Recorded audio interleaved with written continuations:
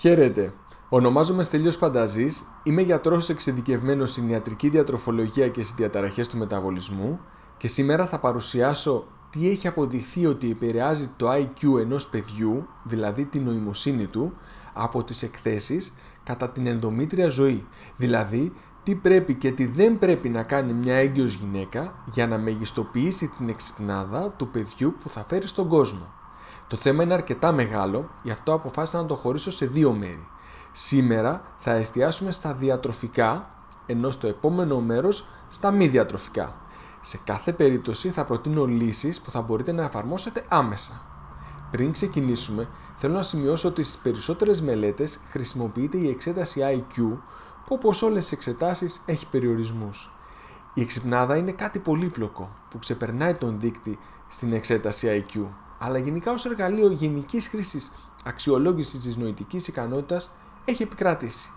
Δεν είναι τέλειο, αλλά είναι ό,τι καλύτερο έχουμε αυτή τη στιγμή και μας βοηθάει για να πάρουμε σωστές αποφάσεις σε μερικά θέματα, όπως τι πρέπει να κάνουμε και τι δεν πρέπει να κάνουμε για να προσφέρουμε στο παιδί που θα κάνουμε το ιδανικό ενδομήτριο περιβάλλον για να αναπτυχθεί η νοημοσύνη του. Επίσης, να συμπληρώσω ότι στις μελέτες οι, ερευ... οι ερευνητές συνήθως μετρούσαν το IQ όταν τα παιδιά ήταν 4 έως 8 ετών. Α δούμε τι βρήκαν. Αν και θα εστιάσουμε στους διατροφικούς παράγοντες, θα ήθελα να ξεκινήσω με το αυτονόητο και ας μην είναι διατροφικό. Το πρώτο πράγμα λοιπόν που φαίνεται να επηρεάζει την νοημοσύνη είναι το κάπνισμα. Έχουν γίνει πολλές μελέτες σχετικά με την επίδραση του καπνίσματος στην, στην νοημοσύνη του οικειοφορούμενου εμβρίου και οι περισσότερες δείχνουν μια επίδραση αλλά στις περισσότερες περιπτώσεις είναι δύσκολο να ξεχωρίσεις αν αυτό είναι πραγματικά από το κάπνισμα ή από κάτι άλλο.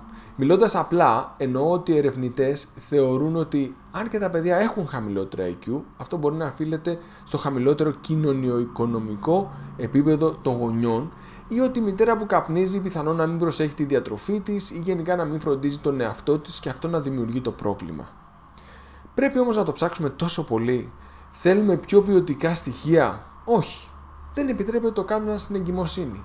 Η μητέρα οφείλει να το κόψει όταν αποφασίσει να μπει στη διαδικασία και αν ο σύζυγος καπνίζει πρέπει να το διακόψει και αυτός για να στηρίξει τη μέλουσα μητέρα. Απλά. Σχετικά με την κατανάλωση αλκοόλ στην εγκυμοσύνη, οι μελέτες κοντάφτουν στα ίδια προβλήματα, αν και πρόσφατες μελέτες δείχνουν ότι είναι πιθανό να υπάρχουν γυναίκες που μεταβολίζουν πιο αργά το αλκοόλ και αυτό να εκθέτει το οικειοφορούμενο έμβριο σε μεγαλύτερο κίνδυνο. Και πάλι, το ασφαλές είναι η αποχή από αυτόν τον νευροτοξικό παράγοντα.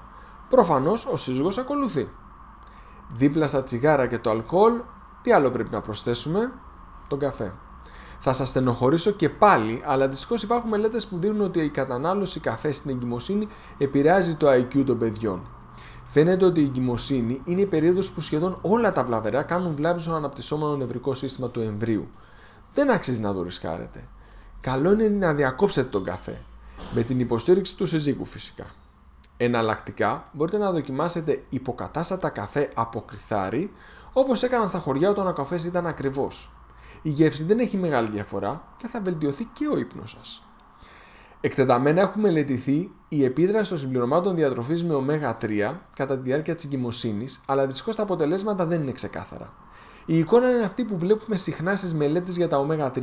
Οι μισές μελέτες δείχνουν ότι βοηθούν και οι άλλες μισές ότι δεν βοηθούν. Η κριτική είναι ότι στις μελέτες που δεν βοηθούν έχουν χρησιμοποιηθεί μικρή δόση ω3, ενώ σε αυτές που βοηθούν η κριτική είναι ότι η μεθοδολογία είναι προβληματική έως και ύποπτη. Έχω διαβάσει ξανά και ξανά πολλές μελέτες για ω3 και αυτή είναι η εικόνα που βλέπω συνήθως. Όμως το 2018 δημοσιεύθηκε μια ανάλυση όλων των αξιόπιστων μελετών σχετικά με την εγκυμοσύνη και τα συμπληρώματα με ω3 και οι ερευνητές συμπέραναν ότι τα ω3 μειώνουν την πιθανότητα να γεννηθεί το μωρό προώρα, μειώνουν την πιθανότητα περιγεννητικού θανάτου, μειώνουν την πιθανότητα της περιγεννητικής νοσηλείας, αλλά και την πιθανότητα να έχει το μωρό χαμηλό βάρος. Σε όλα αυτά τα τόσο σημαντικά μπορούμε να προσθέσουμε και ότι υπάρχει και πιθανότητα να αυξάνει και την νοημοσύνη. Συνυπολογίζοντας και το χαμηλό κόστος και το τέλειο προφίλ ασφαλείας, νομίζω ότι αξίζει να παίρνει μέλουσα μητέρα συμπληρώματα με ω3 στην εγκυμοσύνη. Θα συνιστούσα τα συμπληρώματα από φύκια και όχι από ηχθιέλαια γιατί είναι πιο ασφαλή. Αν όμως δεν τα αντέχει η τσέπη σας και τα ηχθιέλαια είναι μια χαρά.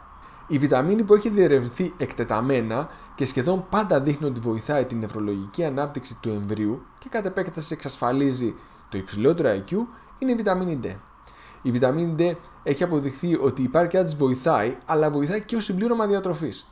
Αυτό σημαίνει ότι οι εγκυμονούσες γυναίκες που έχουν αυξημένη βιταμίνη D στο αίμα τους σε σχέση με αυτές που έχουν μειωμένη, γεννούν παιδιά με υψηλότερη νοημοσύνη, αλλά και οι μητέρες που λαμβάνουν βιταμίνη D ως συμπλήρωμα διατροφής γεννούν παιδιά με υψηλότερο δείκτη νοημοσύνης.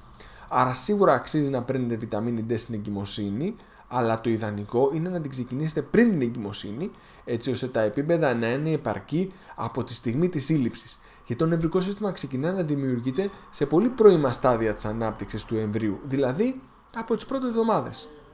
Μια άλλη βιταμίνη που η επάρκειά της έχει συνδεθεί στενά με τη λειτουργία του νευρικού συστήματος είναι η βιταμίνη Β12. Εδώ τα στοιχεία δεν είναι αντικρούμενα, αλλά είναι πρώιμα. Δηλαδή υπάρχουν κάποιες μελέτες, αλλά είναι λίγες και μικρές. Άρα τι κάνουμε; Σε προηγούμενο βίντεο έχω εξηγήσει πώς μπορούμε να δούμε αν η βιταμίνη Β12 είναι επαρκή στον οργανισμό μας με τη βοήθεια μιας ιατρικής εξέτασης στο αίμα που ονομάζεται ομοκυστεΐνη. Σε αυτή την περίπτωση η μέλουσα μητέρα και πάλι ιδανικά πριν την εγκυμοσύνη μετράει τη Β12 στο αίμα της και αν είναι κάτω από 350 μετράει και την ομοκυστεΐνη. Και αν αυτή είναι πάνω από 10 τότε πρέπει να ξεκινήσει να λαμβάνει βιταμίνη Β12.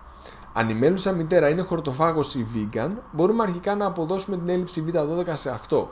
Αλλά αν δεν είναι, τότε πρέπει οπωσδήποτε μετά την εγκυμοσύνη να κανονίσει μια γαστροσκόπηση για να δει γιατί δεν έχει επαρκεία βιταμίνης Β12 στο αίμα της. Σε κάθε περίπτωση, αφού ξεκινήσει να λαμβάνει Β12, μετά από μερικές εβδομάδες πρέπει να επαναλάβει τις εξετάσεις για να εξασφαλίσει ότι η βιταμίνη Β12 αυξάνεται στο αίμα της. Άλλη μια βιταμίνη που έχει συσχετιστεί στενά με το νευρολογικό σύστημα είναι το φιλικό οξύ. Οι μελέτες σε σχέση με την νοημοσύνη είναι ελάχιστες, αλλά πλέον η χορήγηση συμπληρωμάτων με φιλικό οξύ στην εγκυμοσύνη είναι εδώ και χρόνια εδρεωμένη, άρα δεν θα σταθούμε πολύ. Και εδώ όμως ιδανικά η χορήγηση πρέπει να ξεκινάει πριν τη σύλληψη. Τέλος, κάτι που δεν αφορά τις βιταμίνες και τα ίχνοσυχεία συγκεκριμένα, αλλά τη διατροφή ολόκληρη, είναι το βάρος. Το αυξημένο βάρος έχει φανεί σε αρχικές μελέτες ότι επηρεάζει το IQ και γενικά την νοητική ανάπτυξη των παιδιών. Τόσο το αυξημένο βάρος πριν την εγκυμοσύνη, όσο και η μεγάλη αύξηση βάρους κατά τη διάρκεια της εγκυμοσύνης επιδρά στην νοητική ανάπτυξη του εμβρίου.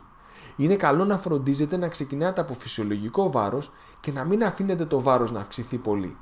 Να ακολουθείτε τις οδηγίες του γυναικολόγου και αν δυσκολεύεστε να απευθύνεστε σε έναν ειδικό διατροφή για βοήθεια.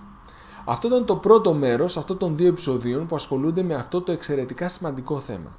Στο επόμενο επεισόδιο θα εστιάσουμε στα μη διατροφικά θέματα που είναι εξίσου ίσως και πιο σημαντικά.